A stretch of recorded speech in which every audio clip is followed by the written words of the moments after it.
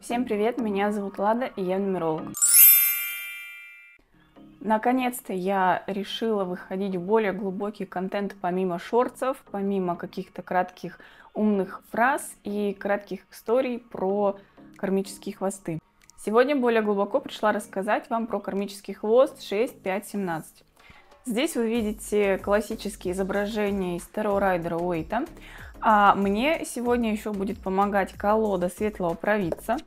Абсолютно крутые карты, применимые практически ко всем вопросам вашей и нашей общей жизни. Итак, для начала мы начнем с вами конкретно с каждого ар аркана. 6 в минусе это всегда какой-то выбор, это всегда какая-то недолюбовь к себе, неуверенность в себе, зависимость от чужого мнения, зацикленность на своем внешнем виде, иногда выпрашивание внимания, выпрашивание этой самой же любви. Также она может совсем в минусе приводить к одиночеству, к неумению общаться и к полной закрытости человека. Иерофанты. Иерофанты это опять про неуверенность в себе. Это какой-то синдром самозванца. С другой стороны, это может быть гордыня из какой-то исключительности в себе. Иерофанты часто думают, что они намного лучше чем чем-то, чем другие. А, это навязывание своего мнения, это поучительство, это всегда «я знаю, как лучше, и я тебе покажу. Делай, как я». Звезда. Что положено делать звезде? Правильно, ей положено светить. Но что делает звезда в минусе? Она тускнеет. Это серые мышки, это люди, которые думают, что у них абсолютно нет никакого таланта. Хотя секрет, талант есть вообще у каждого человека, просто у каждого человека он свой. А, звездочки не умеют доводить дела до конца, они не умеют выбрать, остановиться, определиться на каком-то одном деле. Они начинают, они э, сталкиваются с трудностями, да, все мы, когда, ну, женщины, да, вот вы когда первый раз с тестом работали, но не с первого же раза получилось, вы же не бросили, пирожки все равно вкусные, а звезда думает, что если с первого раза не получается, значит таланта у него в этом нет. Что же могло быть у человека в прошлых воплощениях или у его предков, как он заработал свой кармический хвост? Во-первых, Могло случиться так, что человек действительно родился талантливым, и он родился действительно способным. Он начал заниматься каким-то делом, и у него все прекрасно получалось, да, прям вот семнашка в плюсе. Но случилось так, что он слишком поверил в себя, у него слишком все получалось, он мог на этом таланте заработать какое-то богатство, Э, какую-то известность, признательность и возгордиться этим. Соответственно, он просто остановился в своем развитии, он просто остановился, он заработал, он продолжает зарабатывать, но вот он на... Это знаете, как вот врач отучился, сел в один кабинет и, и все, и вот всю жизнь сидит. Никаких новых там способов, методик, лекарств не изучает. Ну вот когда-то вот он заработал свою известность, что да, он молодец. Ну, все, к нему так по сарафанному радио и, и ходит.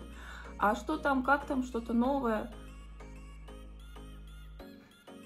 Следующий момент а, могло быть такое, что по шестерке, по минусу шестерки человек мог недополучить любовь, а, его могли обижать по этой же шестерке. Могло случиться так, что по пятерке он кого-то критиковал, да, за это. И, соответственно, он за счет них, за счет своих критик, за счет своих осуждений, обсуждений других людей возгордился. Он самоутверждался, он подумал, что он выше других. Гордыня. Следующий момент – это когда человек мог родиться с красивой внешностью, с красивым голосом, не знаю, мог э, что-то очень до конца глубоко изучить.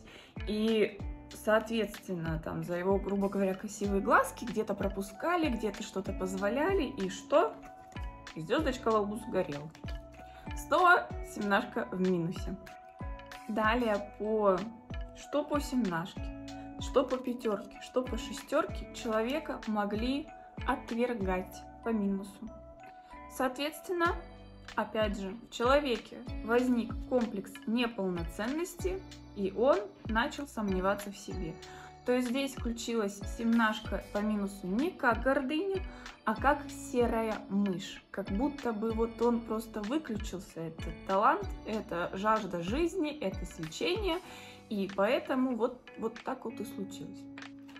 И последнее, а, по нашей теории, это то, что гордыню могли взрастить в человеке родители, гордыню могли взрастить в человеке родители, они не научили его делать выбор, они делали всегда выбор за него, то есть не спрашивали никогда, что ты хочешь надеть, а вот э, куда ты хочешь пойти, а что ты хочешь поесть на завтрак. Вот самые элементарные, самые элементарные вопросы в детстве зарождают неуверенность в человеке. Что может быть у такого человека в этом воплощении, у носителя такого кармического хвоста? Мне просто очень нравятся эти карты, они прямо вот говорящие. А, во-первых, человек может просто отказаться от своей реализации. Он может хотеть всего и сразу, и у него не будет желания вообще прилагать каких-либо усилий э, в своем развитии. Да только проблема в том, что у таких людей не бывает ничего с первого раза. Не бывает волшебной палочки, что вот там выполнил какую-то работу на конкурс, и он сразу занял первое место. Он не может решать уравнения с первого раза по математике в школе. Выложил видео, и оно не набрало там 100 тысяч просмотров в первый раз. Это только кропотливая работа. Набор опыта, набор знаний, все по крупицам, все по чуть-чуть и все очень-очень медленно. Так как такой человек хочет все и сразу, очень часто они идут к своей цели любыми путями. Они могут идти по головам, они могут отказаться от всего чего угодно, от близких, от семьи, от друзей. А, такой еще человек может сам себя уничтожать. Он может сам себя критиковать. Ему будет казаться, что вот он недостоин, что вот он не умеет, что вот он не может. И, соответственно, талантов нет, добиться он ничего не может. И это начинается самокритика, самоедство и саморазрушение. Такие люди очень редко, даже, скорее всего, не редко, а вообще в целом, давайте в совокупности, да, такие люди могут не развиваться духовно, они могут вообще все духовное отрицать.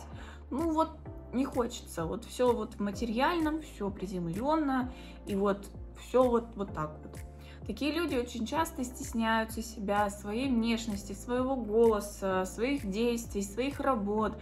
То есть там стихи написал, семнашка это обычно в творчестве в каком-то, я заметила, проявление, да? Стихи написал, не покажет. Написал какую-то работу, да, красками, не покажет. Что-то сочинил, нет. Что-то вот, какие-то фотографии, какие-то работы, вот, а, бисероплетение, не знаю, вязание, крючком, вышивание. Нет, ну это я на мелких, конечно, что-то крупнее. Даже презентации в школе, в университете, ему всегда будет казаться, что вот у него хуже всех почему-то. Надо просто с этим очень сильно и очень внимательно работать, и желательно с детства.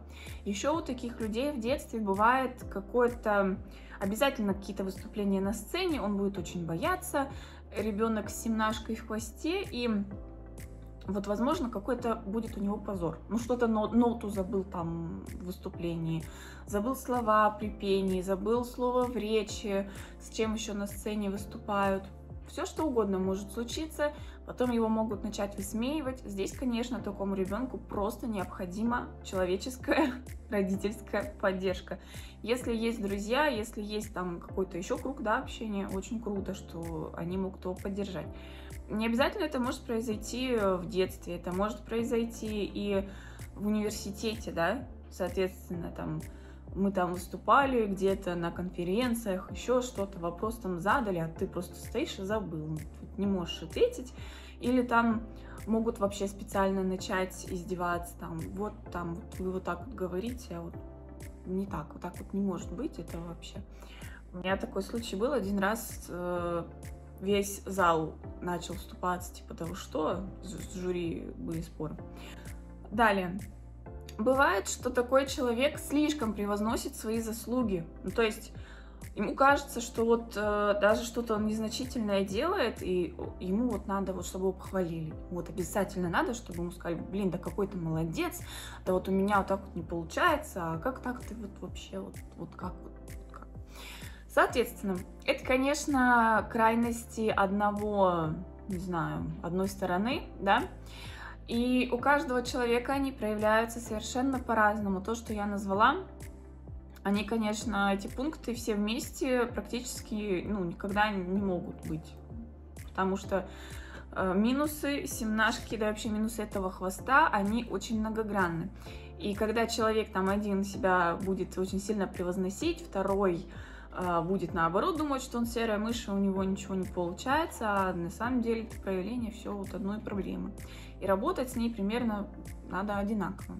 А вот как с ней работать, если вам интересно, пишите в комментарии, и на это я могу записать вам отдельное видео с рекомендациями. Кстати, не забудь подписаться, потому что я пока еще новичок в этом деле, но я обещаю, что раз я начала, то буду продолжать. И информации будет много. Информация будет с кучей курсов от, перво от первоисточников до самых современных последователей на данный момент.